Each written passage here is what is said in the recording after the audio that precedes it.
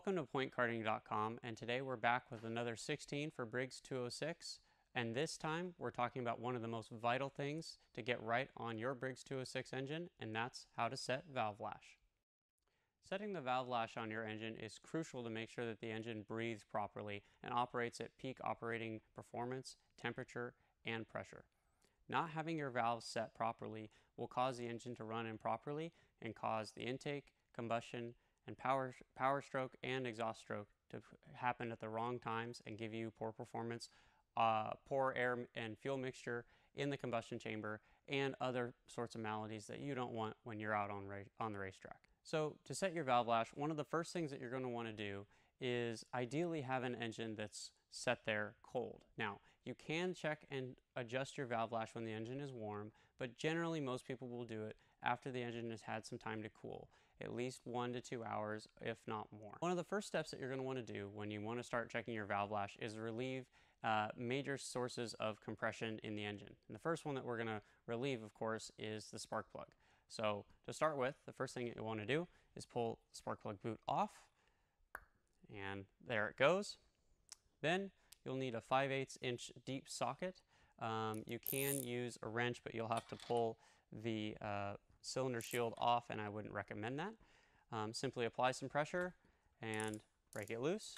Then remove your socket and turn the rest by hand. As you remove your spark plug, try to note for any resistance, any binding on the threads as this could indicate maybe uh, some worn threads on your spark plug. This one we can see, of course, is brand new. Once that is off, the next step is going to be to remove our rocker cover. Some people call it a valve cover. Either way, there's four 10 millimeter hex head bolts, and we'll need a extension and a 10 millimeter socket to pull that off. Break them loose and spin them all the way out. Ideally, when you are removing these, you want to do this in a fairly clean environment. So uh, naturally, we don't want to be doing this in a dusty area, somewhere with a lot of rain or water, as we don't want any contaminants getting into our engine. Um, to do so, of course, would uh, contaminate our oil or the internal um, metal components of our engine, um, which would further harm uh, our performance. Once those are off, you can go ahead and remove your rocker cover and set it aside. And now we can see our valve train. For those of you that aren't familiar with the four strokes of a four cycle engine, we're going to have a separate video going over the combustion cycle and how that all works in a separate video with a link below. But for those of you that are, let's go ahead and review those strokes briefly while we pull the pull cord and go over how to find top dead center of our compression stroke. That's where we're going to want to set our valve lash. So to start cycling the engine once the spark plug and the rocker cover are removed, simply grab the pull cord and pull.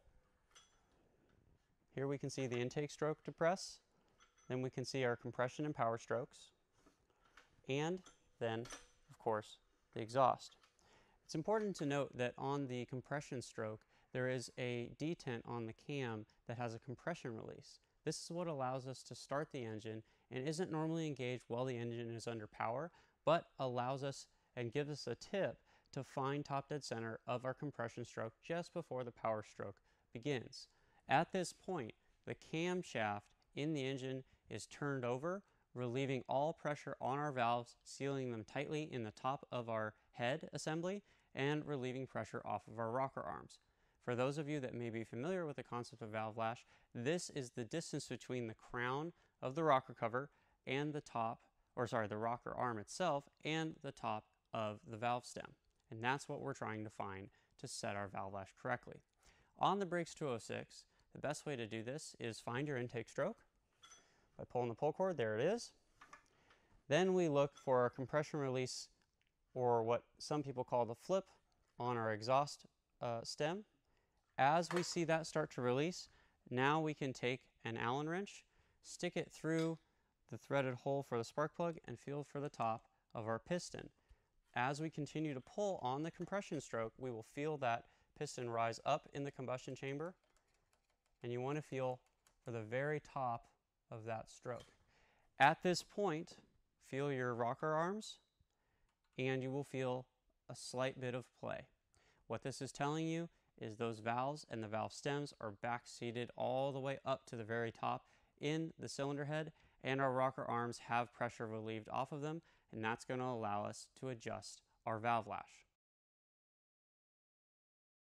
So we have our spark plug removed, our rocker cover off, and we're at top dead center and we're ready to check our valve lash. What do we need next? Well, we need one of these tools.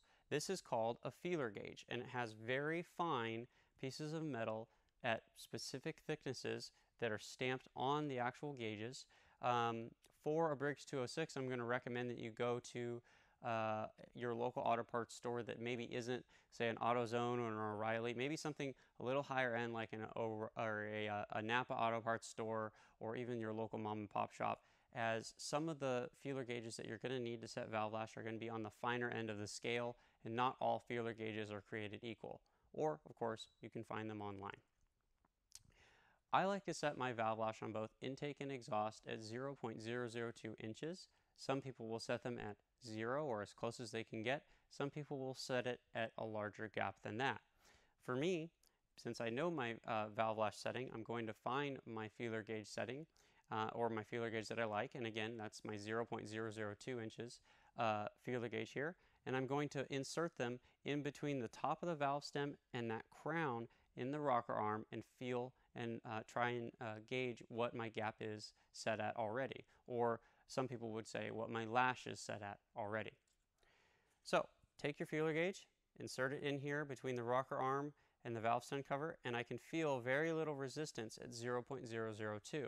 That would suggest that on my exhaust valve here, I have a little bit more lash than I would like.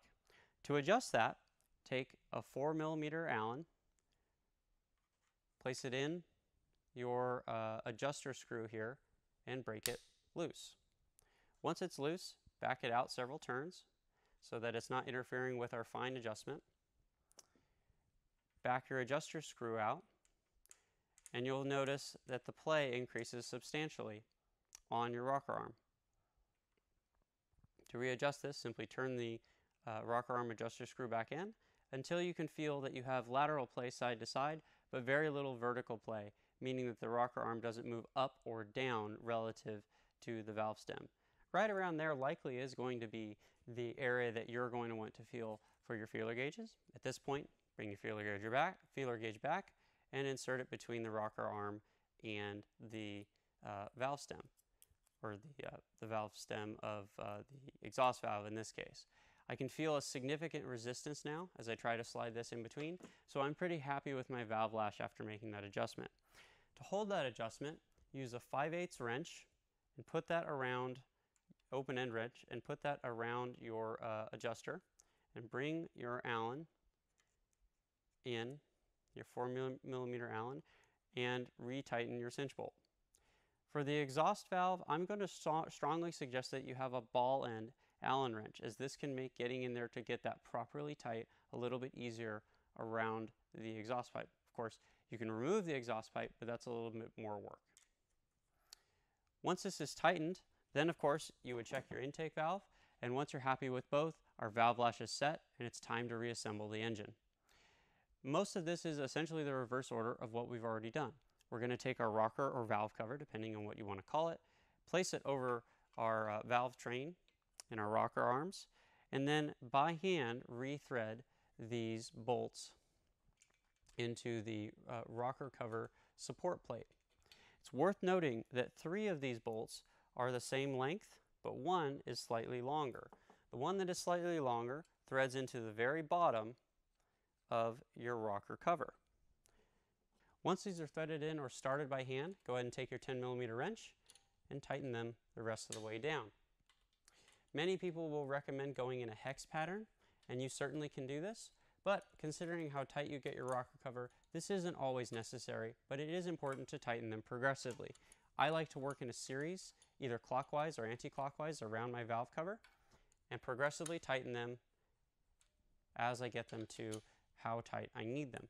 And what I would say is about half a turn past hand tight. Um, there is a gasket between the rocker cover and the rocker cover support plate. It's important that this seals tightly so that any excess oil or pressure in the valve train um, goes out of the uh, hose that goes into the rocker cover. We have it removed, removed here for display, but normally it's included.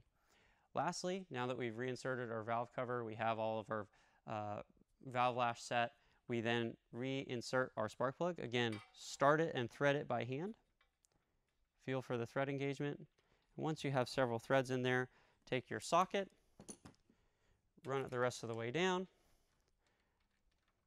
and then with a ratchet or wrench, depending on your preference, you can go ahead and tighten. Be careful to not over tighten your spark plug, as doing so can strip the spark plug or over exceed the crush gasket. And once fairly tight, reinsert insert the spark plug boot. Listen for that little click of the metallic clip that goes at the very top, like that. And now we have successfully set our valve lash. That's it for this installment of the 16 for Briggs 206, where we talked about how to set the valve lash properly on your Briggs & Stratton 206 engine.